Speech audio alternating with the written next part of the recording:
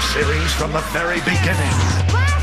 Dragon Ball GT, the lost episodes, Saturday night at 10. It ain't over till we say it is. Awesome, aren't they? Only Toonami.